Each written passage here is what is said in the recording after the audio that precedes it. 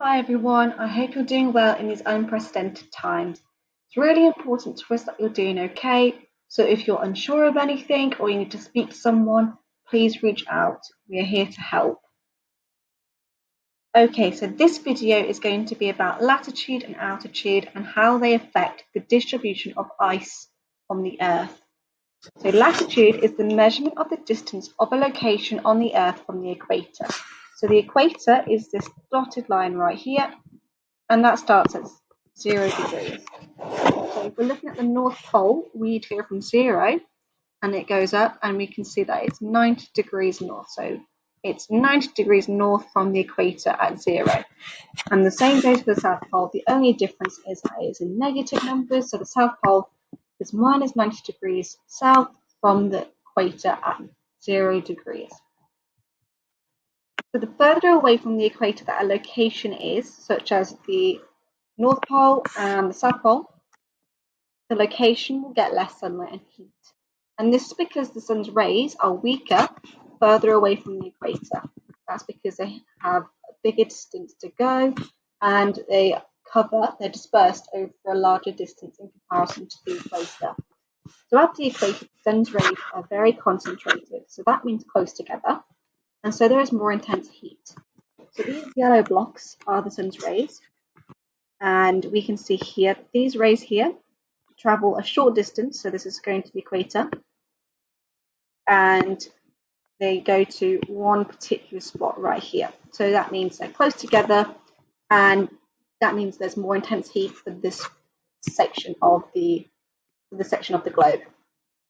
And this differs from those in high latitudes because the rays take longer to get to the globe, to get to the Earth, and they're dispersed over a larger distance. So they have to go over this entire part of the globe. And so there's not as much heat going to these areas because they're over a larger distance and they have to go to more places on the Earth than those going to the equator. So at the equator, the sun's rays travel a short distance through the atmosphere. So this is the atmosphere. So going from the sun to the earth, they don't travel very far. And this is, means that less heat is lost along the way. Therefore, more of the sun's rays reach the earth's surface. So on the other hand, looking at the high latitudes, such as the North and the South Pole, the sun's rays also have to pass through a longer distance in the atmosphere before reaching the Earth's surface. So they take longer to get from the sun to get to the Earth itself. And because of this, more heat is lost to the atmosphere. So more heat goes up in the atmosphere. So even though the rays which strike the polar regions, so the North and South Pole, the Arctic and Antarctic, Antarctic Circle, carry the same amount of heat as those rays that hit the equator and the tropical regions, this heat is diffused and dispersed over a larger area.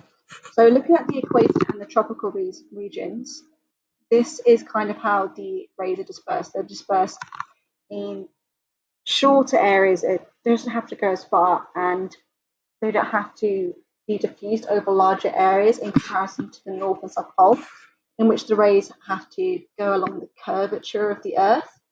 So that means they're diffused and dispersed over a larger area, which means that those areas don't get the same intensity of heat in one specific area. It's spread and so therefore it's colder in these north and south areas in comparison to those at the equator. So on the slide in front of us, we have a map which shows the tundra ecosystem. So those are those in blue. So these blue sections are where the tundra is, and the tundra is a landscape that has no trees. It's a treeless landscape, and that is because it is too cold for trees to grow. So all of these blue bits is where we have ice and snow and no trees.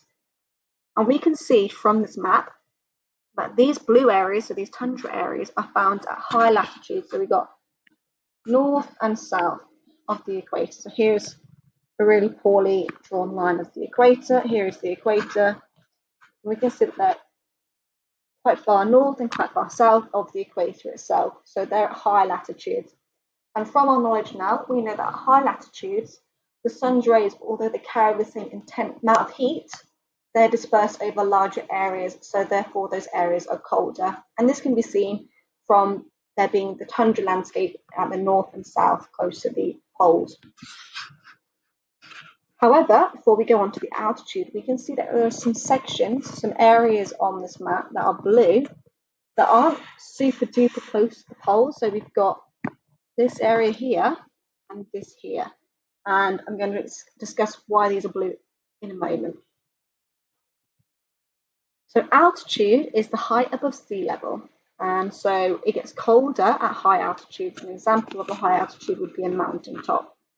Okay, so thinking about it being colder the higher above sea level it goes, we can look back at this map and we know that these areas might very well be mountains. So the further above sea level these mountains go, the colder it will be, and so there will be ice and snow found at these areas. Although it's not on this map, we will also find ice and snow around the Himalayas as well as other mountainous regions. Okay, so sea level is the is measured from where the sea meets the, the, the land. So that would be zero, and any land that goes higher above that goes up in meters. So we can see that at zero degrees sea level, we've got quite a warm temperature of 30 degrees Celsius. However, further above sea level you go, so for example, up to 3,000 meters, it becomes a lot colder and it gets down to 10.5 degrees Celsius. So from this we can gauge that the higher above sea level it goes, the colder the temperature will be. And the reason for it being colder the higher the altitude is because the air is much thinner and under less pressure. So from this image here, we can see that this would be about zero degrees sea level. And we can see that these particles, so let's imagine they're water particles, are really close together and that is because they're under a lot of pressure and the air is thicker, so they're closer to get them more compacted. If you think back to science and particles and knowing that gases are spread out a lot more, so you can tell that from this image that the higher the altitude becomes, so the further above sea level it goes, we can see that these particles have a lot more space between them, and that is because the air is much thinner and under less pressure. And because of this, the air is expanded, which means it is more difficult for it to keep the heat. So down here, close to sea level, you can see that all of these particles are close together. And because they're close together, it's easier for them to keep heat because they're compacted. However, the further above sea level they go, the more dispersed they are, which means they're not as close together, and so it's difficult for them to keep the heat. So from this, we know that the higher the altitude, the colder it is. So an example of the differences in altitude, here we have the Mount Everest base camp. So that's this bit right here, okay? And from this we can see there's little to no ice on the ground at all. And this is because it's only 5,600 meters above sea level. So although it is still pretty cold the further up you go, it's not necessarily cold enough to maintain ice and snow cover all year round.